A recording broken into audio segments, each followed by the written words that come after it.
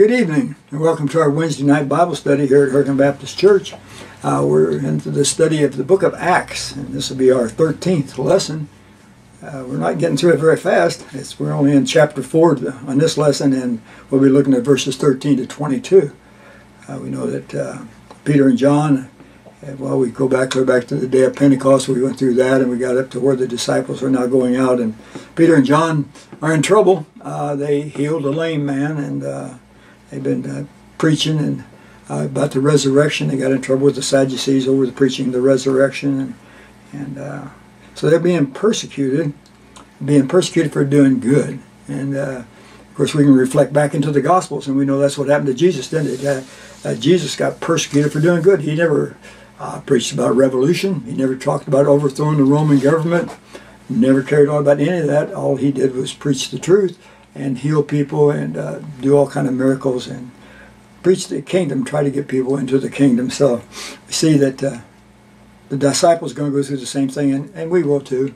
Uh, we don't know when it's going to start in our country. If We're getting a little touch of it here or there, but nothing really drastic like uh, those foreign, especially the foreign nations over in the Middle East or down South America and those places. It's uh, the persecution is really bad. We know that we hear people talk about Christians in, in our nation, and they talk about it in, in a hateful way, but uh, so far uh, there's not been any uh, overt activity against Christianity. But anyway, as we get into our study here, we're into chapter 4 and verse 13, and, and we see that in verse 12, that same chapter, uh, we see that fame, one of the more famous verses of that portion of Scripture. He says, Neither is there salvation in any other, for there is none other name under heaven given among men whereby we must be saved. And and that's I think that's one of the problems is the, the name of Jesus, as we see all about this portion of Scripture.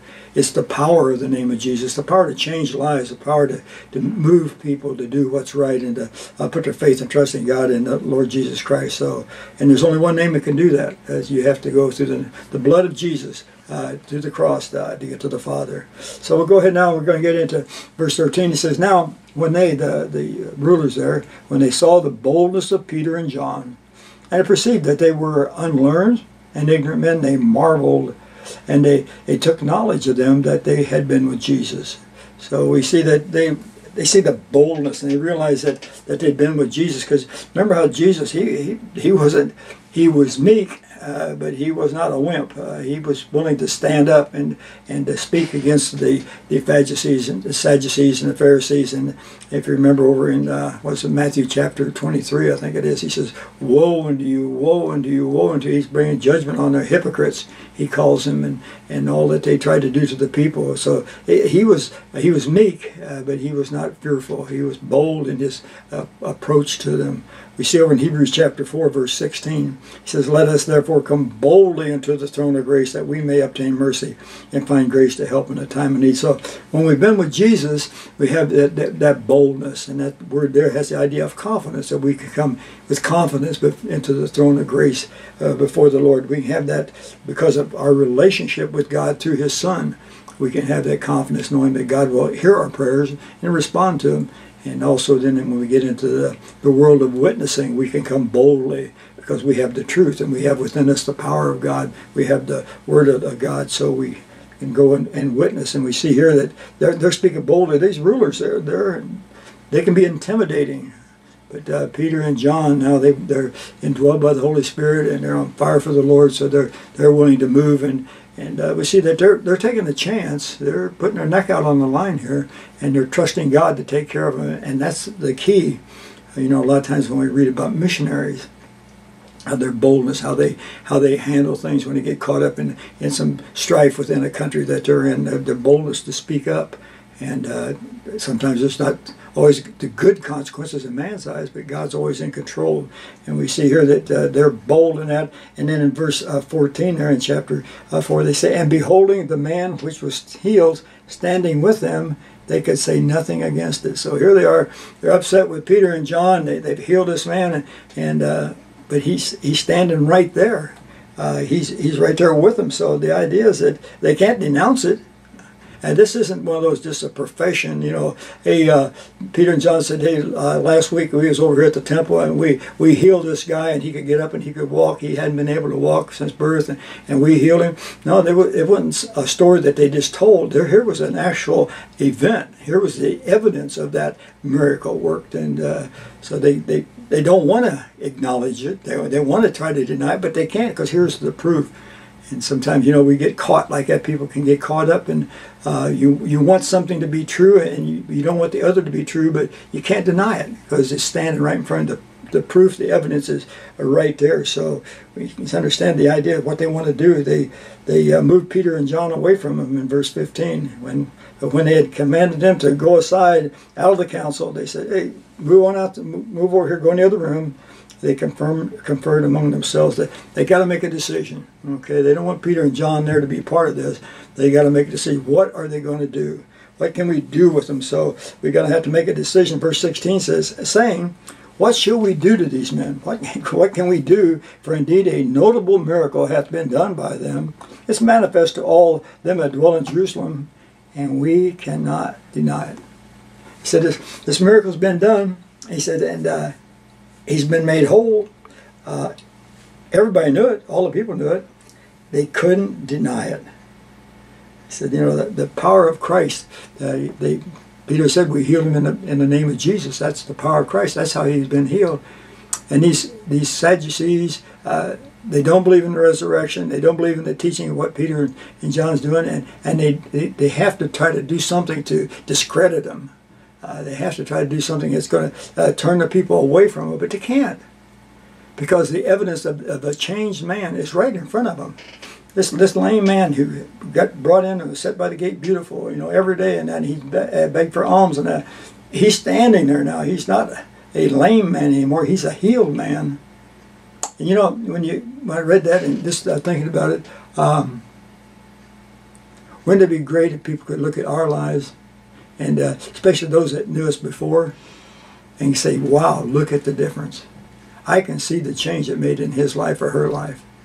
That the, that the evidence would be so, it wouldn't be something, well, you know, did they get saved, didn't they get saved, or are they Christian, or are they not a Christian?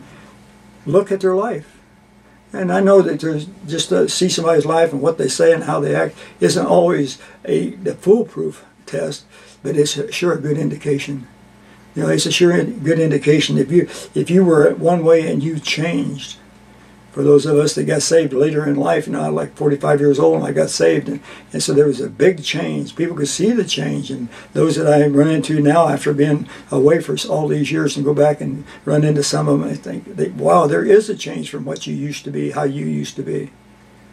So, and we want to we want to have that testimony so people can look at us and see the power of Christ, and that's what this is all about. Peter and John, they're they're standing there in the power of Christ. They're they're preaching and they're teaching in the power of Christ. They they've healed this man in the power of Christ, and they're willing to face whatever is going to come down the pipe in the power of Christ. And so as Christians, we want to be that that witness. We want to be there so people can see that that transformed life. And they, they can't deny it. And that's why that's why our testimony is so important when we proclaim the name of Jesus as our Savior, when we're out there and we're, we're trying to live the kind of life we should, and we're not going to be sinless, so we need to strive, though, to know that people are going to look at us. So we strive to sin less. We strive to be obedient. We see Peter and John here, they're out there, they're, they're going to be, they're going to suffer for what they're doing. We know that as we read Scripture. Christians over in foreign lands, they suffer. I just uh, read here the other day where they kidnapped 11 Christians over there in uh, someplace, I think Sudan or someplace down there, and they kidnapped 11 men and they took five of them out and made them kneel and shot them and killed them. And they, what they, as they, before they killed them, each man gave their name and professed their faith in Christ. I am so and so, and I am a Christian. And then they killed them. So the boldness that we're going to have to have someday down the line is we need to be ready for that. And these men, when the power of God within them, in the name of Jesus, they're out there going to do the work they're called to do. So let's go a little bit further in verse 17.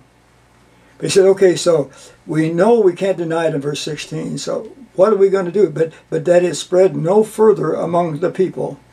In other words, we don't want to go any farther than this. If we can just contain the damage, All right, if we can just just keep it amongst ourselves, or just keep it amongst these people, let us straightly threaten them.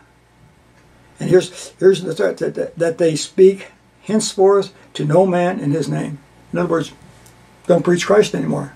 Yeah, you can go out and get around, but don't talk about Jesus.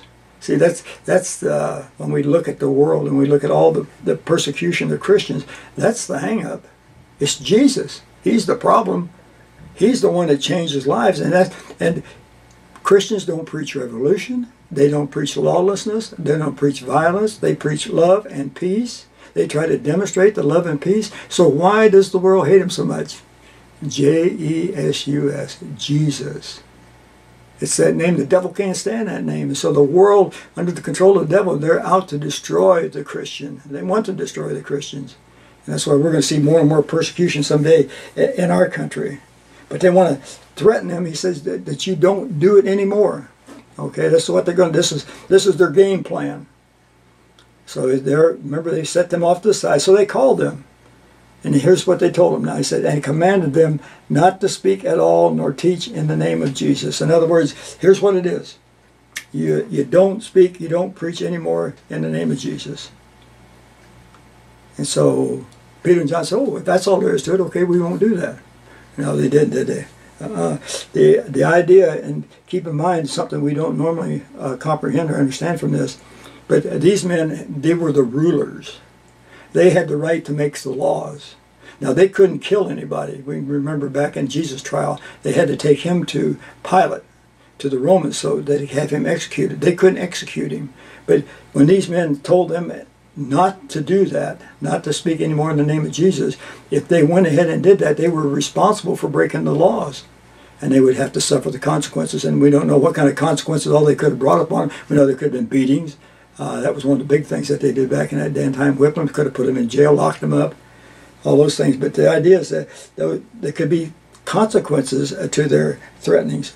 Over in uh, Philippians uh, 1.28, he says this, and in nothing terrified by your adversaries, which is to them an evident token of perdition, but to you of salvation and that of God. So don't don't be worried about those that want to persecute you, your adversaries. Don't worry about that. He says over in Philippians uh, 1.28 there, he says, uh, because which to them is an evident token of perdition, but unto you, salvation. It's an evidence of your salvation. It's one of those things that we go through because that we're saved. So we see this is their this is what they're told to do. So now now they have to do something, don't they? It's just like you and I. When the laws come out, when they at this day and time, as we go through this with the the pandemic and all these things going on, and we're told to, to wear a mask, we're told to stay six feet apart and do all these things. So uh, we have to decide are we going to do it or not? Are we going to obey these? Uh, these aren't really law, put down as laws so much right now, I don't believe, but because uh, they're not really enforcing it, but people have to make a decision. You're going to obey or not obey. Uh, wearing your seatbelts, I know back when that first came out, people had a lot of problems with that. They obey that law, they had to make a decision. So if you make a decision not to do it, then you have to be willing to face the consequences. And see what we're talking about here, they've been told not to do it. So now Peter and John have to make a decision. And they know that if they decide to keep on preaching and teaching Jesus, then it could be consequences. Well, there will be consequences. And that's the same for you and I, that as in our walk with the Lord, as people start confronting us and, and pushing back against us, we need to understand if the laws come out against the church, against the Bible, then we have to make a decision. And that's what we're going to be just like uh, Peter and John here. He said that in verse 18, he commanded not to speak anymore or teach in the name of Jesus. Verse 19 says, But Peter and John answered and said unto them, Whether it be right in the sight of God to hearken unto you more than God, judge ye. He said, whether it be right, more right to, to listen to you or to listen to God. What should I do? What is more important? So we know that in, as a Christian, God's law comes before man's law. Right? God's law is always the, the predominant, the, the preeminent law. It's the one that, that ranks at the top. We obey God's law first. We obey men's law as long as they don't violate God's law paying your taxes. You might not agree with the taxes, but we're called to pay them anyway. You may not agree with wearing your seatbelt, but we're called upon to do it anyway. We're to obey man's law as long as they don't violate God's law. Now, when they tell us we can't worship, you can't go to church and worship, you can't preach and teach the Bible, you're limited in what you can say, that's a different story. And that's what Peter and John are facing right here. So he said, What? Uh, whether it be right in the sight of God to hearken unto you more than unto God, you judge. God is the, the supreme authority. His law comes first. It's just like in our in our nation. Uh, if you go through the court system, you go to the local court, and maybe you have a problem there with something, so then it, it, doesn't come out the way you want it to, so then you go to the appellate court, and we go to different courts till you get to the Supreme Court. The Supreme Court has the final say. And that's what it is. All these uh, things that we look at God, God has the final say. In fact, He's, he's hiring our Supreme Court, isn't He? So God is the ultimate authority. So when we are faced with a decision on what to do and what not to do, I take what man says and I take what God says. And I know that God is the dominant authority. So that's where I go as a Christian. But I have to realize, listen, I have to realize that being obedient to God does not eliminate consequences for breaking man's law. And that's where sometimes where we get confused. We think, well, if I do what God tells me to do, then I won't have any problems. Then He'll take care of it. Well, He takes care of it, but in His own way a good example, and we'll see a little bit later with Paul and Silas in the Philippian jail. But we, as we look at this right now, he says, "You decide what's right." But in verse twenty, for we cannot but speak the things which we have. Listen, we have seen and heard. He said, we, we've got to proclaim, we've got to tell everybody what we have seen and what we've heard. They, they walked with Christ. They saw him after the resurrection. They heard his commandments. And he gave them some commandments. He said, this is what he told them in Matthew 28, 19 and 20. Go ye therefore and teach all nations, baptizing them in the name of the Father and of the Son and the Holy Ghost, teaching them to observe all things whatsoever I have commanded you. And lo, I am with you always, even unto the end of the world. Amen.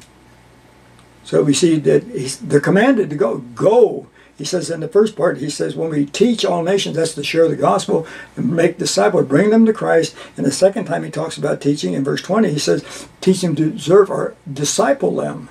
That's what they're called to do. In uh, John 20, 21, then Jesus said to them, Peace be unto you, as my Father has sent me, even so I send you. So we see the idea that they're being sent to the to the world. They're being sent. God the Father sent him, and He's sending them into the world. He said, We cannot, but we have to speak of the things that we have seen and heard. We saw the resurrection. We saw what he was. We saw what he did. And we want to know that how many Christians in the world today are sharing the Lord Jesus Christ. See, we, we, we can't, we haven't seen the physical Jesus. We haven't seen those physical miracles that he did. We've, we've only heard through Scripture. But we know that there's been a change. We know what he's done for us, what he's done in us, and we see his hand at work. And so there's, there's a call to witness, to tell others what he's done. And that's what John is saying here. He says, and Peter, we cannot but speak. We got to say what we've seen and heard. We can't keep it inside. We got to be a witness for Jesus. A little bit further there, we see that in 2 Corinthians 5.11, knowing therefore the terror of the Lord, we persuade men, but we are made manifest or revealed unto God, and I trust also are made manifest in your consciences. For the love of Christ constraineth us, because we judge that if one died for all, then all were dead. This is what he's talking about there. He says that, that know the terror, know that what we want to do. We have that responsibility to go tell men about the Lord Jesus Christ. The love of Christ constraineth us. That's in verse 14 there. He says, because we judge, that's judge that if one died for all, then all were dead. And that's the situation of the world. Listen, there's a lot of dead men walking out there. There's a lot of people out there that are dead in their trespasses and sins and walking around like there's nothing wrong. So keep in mind is we have that responsibility then to go tell them about what's going on, tell them about the Lord Jesus Christ. And Peter says in 1 Peter 3.15, But sanctify the Lord God in your hearts and be ready always to give an answer to every man that asks you a reason of the hope that is in you with meekness and fear. Listen, that hope, that's a confidence. How can you be so confident? How can you be so sure that you're going to go to heaven? How can you be so sure that you're born again? You need to be ready to give that reason and do it with meekness and fear. We don't we don't push it. We don't overwhelm or we don't overrun people. We just take and tell them the truth. Why do I have so much confidence? Why do I have so much uh, hope, as they say here, that use that word, that confidence, is because I know God. I know I have done what God told me to do. I have given my heart to the Lord Jesus Christ. I have had him come in my heart and save me. I'm indwelled by the Holy Spirit. And God has promised me if I did that, I have eternal life. And I can never be separated from him. So that's my, my assurance. I know. So I need to be ready to share that. Be able to answer every man to ask you, why are you so confident? Because I know that I know that I know. I know what I was, I know what happened, and I know what I am go a little bit further. Then he says, and so then, so when they had further threatened them, they let him go, finding nothing how they might punish him, because the people, because of the people, for all men glorified God for that which was done, and that's that's the key. The key right there to all of this is that God gets the glory. And I would ask you, in your life, does God get the glory from your life? See, Peter and John, when they were confronted with, how did you do this? How did you heal a man? They didn't say, oh, look at us. No, they said, look at him. We did it in the name of Jesus. God got the glory. And that's what we need to be sure. So many times uh, uh, people, you do something for someone and to the church or as an individual, as a Christian, and, and people thank you, and that's great. But they, they, need to remember that it's God that did it.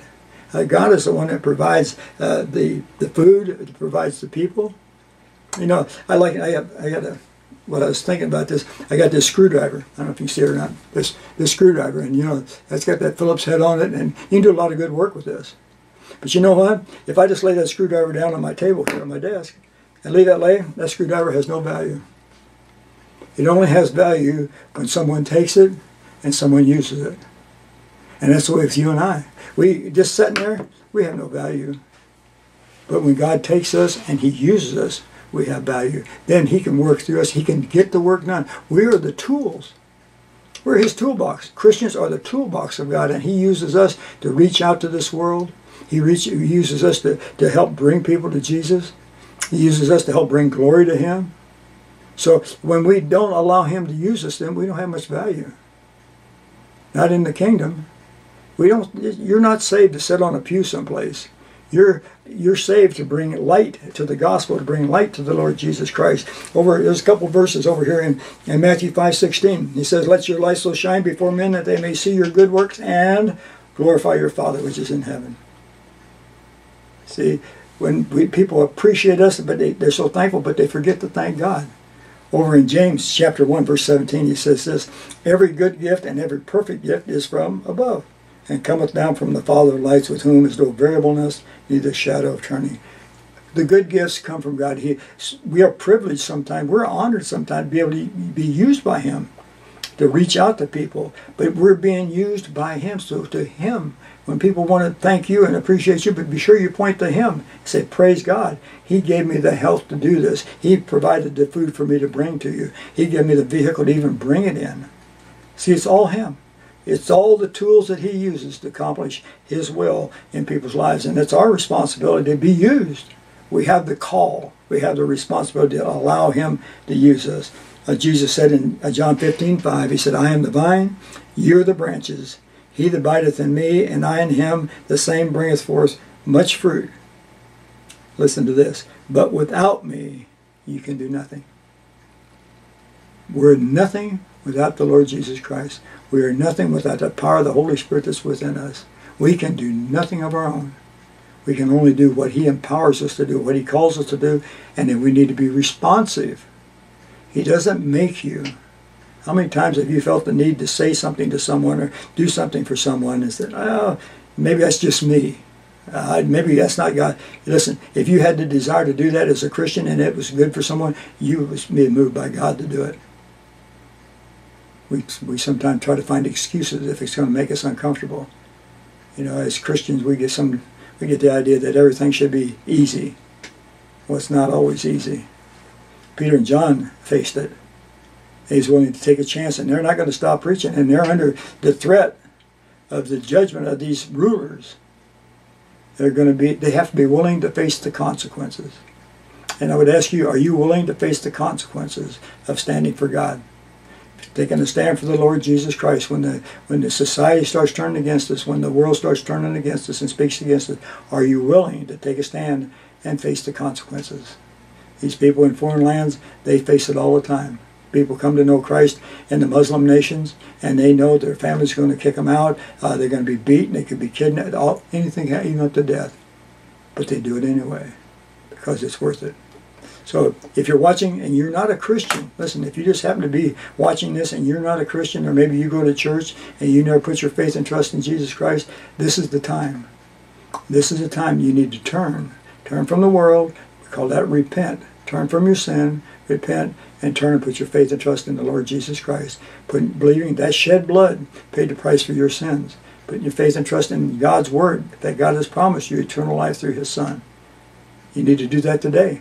We don't know what's going to happen as we see the, the election and all that's going on in our nation today. We have no idea what's down the road. But I know one thing for sure God's in control, and I can trust Him. And you can too. If you don't know Christ, trust Him today. Put your faith and trust in that shed blood that was paid for your for the remission of your sins. And for you as a Christian, look at these people, look at their example, and put your trust, trust and faith in Christ to walk the path He's called you to walk. Let's pray. Heavenly Father, we do thank you for the day and for this time, Lord. And we just pray you be with each one of us as we walk this pathway of life. As your children, help us to have a desire to be obedient to you and to take a stand. Let people see Christ in us. And for those that don't know Christ, we pray that they would open, have their eyes open, that the glorious light of the gospel would shine through, that some Christian would take the gospel to them. They would hear the truth, repent, and put their faith and trust in Jesus. We thank you for what you've done. We thank you for what you're going to do. For we pray in Jesus' name. Amen.